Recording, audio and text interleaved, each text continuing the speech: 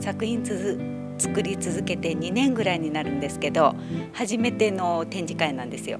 だから皆さんに見ていただけたらなと思って始めました。20年ぐらいブティックしてましたのであのいろんな作品に出会ってます。で普通のものは作りたくなくてちょっとこだわりの商品を作ってみました。鎌倉の小町通りにあの私だけの商品を置いてるお店を開きましたのでもし向こうに行かれるご用がございましたら是非お立ち寄りください。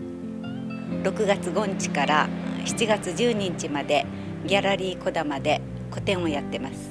どうぞよろしくお願いいたします。